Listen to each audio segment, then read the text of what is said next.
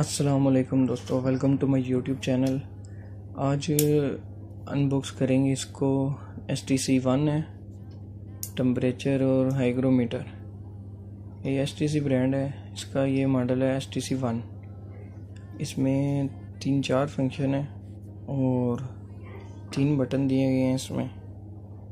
एक मोड का बटन है एडजस्ट का और मेमोरी का बटन है। इसमें मैं आपको दिखाता हूँ कि इसमें टम्परेचर की क्या मेज़रमेंट है इसमें और कितना टम्परेचर बताता है और कितनी इसकी एक्यूरेसी है। ये इसके पीछे लिखा भी हुआ है।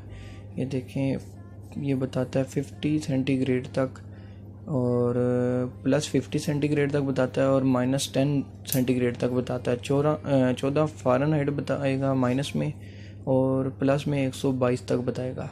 ये इसकी जो है ना मेज़रमेंट है, इससे ऊपर नहीं ये बताएगा। और ये इन्होंने साथ एक चाइना में कुछ लिखा हुआ है, ये एक साथ इन्होंने सेल दिया हुआ है इसका, और ये एस टी सी है। ये सेल है इसका।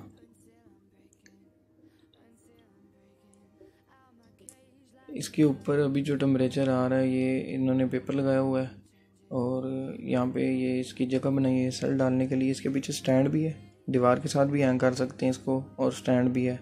इसको रख भी सकते हैं। ये इसके ऊपर पेपर लगा हुआ है अभी। तो सेल डाले हैं और ऑन हो गया है। ये पेपर उतार देते हैं इसका। और अभी ये देखें, इसके ऊपर बता रहा है टम्परेचर और नमी बता रहा है। इसके पीछे सेंसर लगे हुए हैं। ये देखें यहाँ से एयर क्रॉस एक साइड से होती है और दूसरी साइड से निकल जाती है सेंसर को टच होते हुए। और एक ऊपर टम्परेचर का लगा हुआ सेंसर नीचे ह्यूमिडिटी का सेंसर लगा हुआ है। ये देखें। अभी नमी बता रहा है अस्सी परसेंट और टम्परेचर बता रहा है थर्टी पॉइंट फाइव अभी ये इसमें बटन है मोड का। वैसे तो मूड का बटन अभी मैं प्रेस कर रहा हूँ, लेकिन कुछ चेंजिंग नहीं कर रहा, लेकिन ये मूड का बटन अगर प्रेस करें तो फ़ारन हाइट पर चला जाता है। S T C two model है, वो मैंने पहले यूज़ किया हुआ है, वो चला जाता है। ये देखिए मूड का एडजस्ट का और मेमोरी का बटन है। तीन बटन इसमें दिए गए मूड का बटन दबाएँ तो इसको फ़ारन हाइट पर जाना चाहिए, लेकिन ये अभी नहीं जा रहा।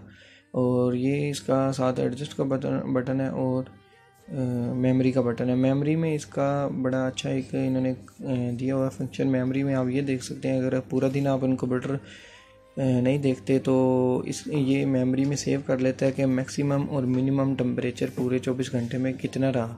तो वो आप देख सकते हैं इसमें कि मिनिमम और मैक्सिमम कितना आज 24 घंटे में टेम्परेचर इसने नोट किया है।